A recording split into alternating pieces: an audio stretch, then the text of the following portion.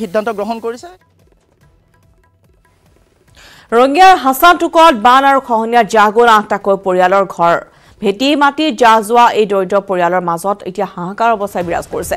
আশ্ৰয় শিবিৰত থাকিবলগীয়া হৈছে বান আৰু খহনীয়াত সৰ্বশ্ৰান্ত ভুক্তভোগী লোকসকলে। পোৱা নাই কোনো ধৰণৰ চৰকাৰী সাহায্য।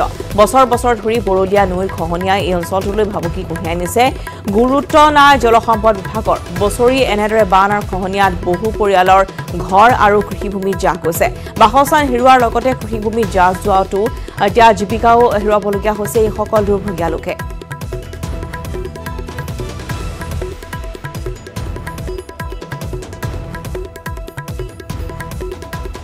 ওপৰত ইনামুল ইছলামৰ এক প্ৰতিবেদন। মই আছোঁ ৰঙিয়াৰ হাচানটুকত বৰলীয়া নৈৰ বাঢ়নি পানীয়ে এটাৰ পিছত আন এটা ঘৰ উটুৱাই নিবলৈ আৰম্ভ কৰিছে। যোৱা কিছুদিন নেৰে নেপেৰা বৰষুণৰ ফলত নদীৰ বুকুত জাহ যাবলৈ ধৰিছে এটাৰ পিছত আন এটা ঘৰ। যাৰ বাবে বিনীতা ৰজনী কটাবলগীয়া হৈছে। আমাৰ লগত বানাক্ৰান্ত ৰাইজ আছে। আমি তেখেতসকলৰ পৰা জানিবলৈ চেষ্টা কৰিম। এতিয়া বৰ্তমানটো মানে এনেকুৱা সমস্যাত আমি ভুক্তভোগী হৈ আছোঁ। আপোনালোকে প্ৰত্যক্ষই কৰিছে ইয়াতে আঠঘৰমান পৰিয়াল যোৱা বানপানীত মানে সম্পূৰ্ণৰূপে সকলো মানে ধ্বংস হৈ গৈছে ঘৰ দুৱাৰ উটাই লৈ গৈছে বাৰণি পানীয়ে এতিয়াও বৰ্তমানলৈকেও ঘৰ চৰ ভাঙি লৈ গৈছে।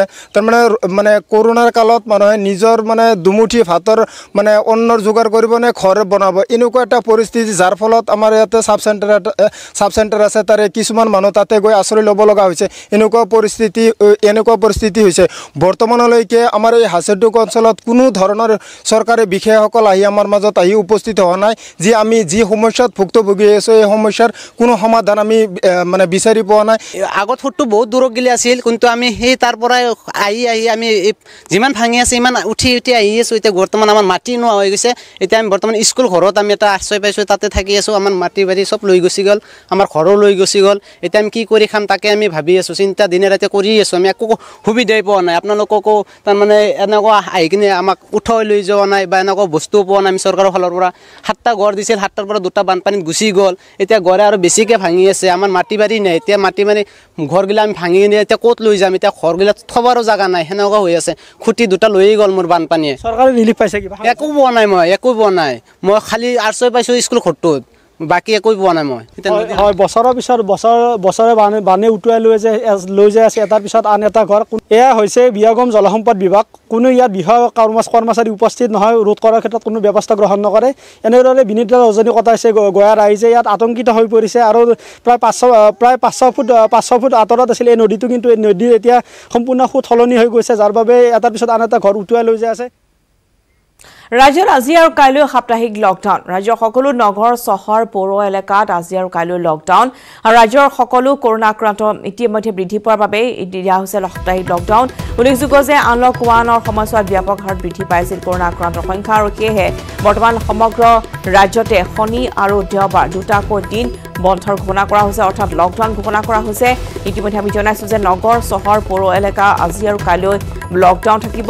ৰাজ্যত কৰোণা আক্ৰান্ত সংখ্যা বৃদ্ধি পোৱাৰ লগে লগে দিয়া হৈছে সাপ্তাহিক লকডাউনৰ য'ত ইতিমধ্যে আজি পুৱাৰ ভাগত দেখুৱাইছিলোঁ যে ধুবুৰীত ইয়াৰ ব্যাপক প্ৰভাৱ পৰা পৰিলক্ষিত হৈছে ধুবুৰী নগাঁৱৰ লগতে নামনি অসমৰ বিভিন্ন প্ৰান্ততো দেখিবলৈ পোৱা গৈছে যে লকডাউনৰ প্ৰভাৱ পৰা- পৰিছে। শনি আৰু দেওবাৰ দুটাকৈ দিন থাকিব লকডাউন অৰ্থাৎ সকলো ব্যৱসায়িক অনুষ্ঠান প্ৰতিষ্ঠান বন্ধ থকাৰ লগতে চৰকাৰী যিসমূহ কাৰ্যালয় আছে সেইসমূহো চৰকাৰী বেচৰকাৰী কাৰ্যালয় আজি আৰু কাইলৈ দুটাকৈ দিন বন্ধ থাকিব। দেওবাৰৰ আহ, দিনটো বন্ধৰ দিন কিন্তু শনিবাৰৰ দিনটোতো আজিৰ দিনটোতো সকলো কাৰ্যালয় বন্ধ ৰখাৰ কথা ইতিমধ্যে ঘোষণা কৰা হৈছে। অৰ্থাৎ লকডাউন সম্পূৰ্ণৰূপে বলবৎ হৈ থাকিব। শনি আৰু দেওবাৰে ৰাজ্যৰ সকলো প্ৰান্ততে। আৰু ইতিমধ্যে আমি দেখুৱাইছিলোঁ পুৱাৰ ভাগত যে ধুবুৰীত জ্যোতিময় জনাইছিল যে তাত ইতিমধ্যে সকলো দোকান পোহাৰ বা ব্যৱসায়িক অনুষ্ঠান প্ৰতিষ্ঠান সম্পূৰ্ণ বন্ধ হৈ আছে। লগতে পৌৰ এলেকাৰ সমান্তৰালকৈ যিসমূহ পঞ্চায়ত এলেকা আছে তাতো ইতিমধ্যে বন্ধ দিয়া হৈছে। অৰ্থাৎ বন্ধ ঘোষণা কৰা হৈছে। দেখিবলৈ পোৱা গৈছে যে গাঁও অঞ্চলতো বৰ্তমান যিসমূহ দোকান পোহাৰ সকলো বন্ধ ৰখা হৈছে।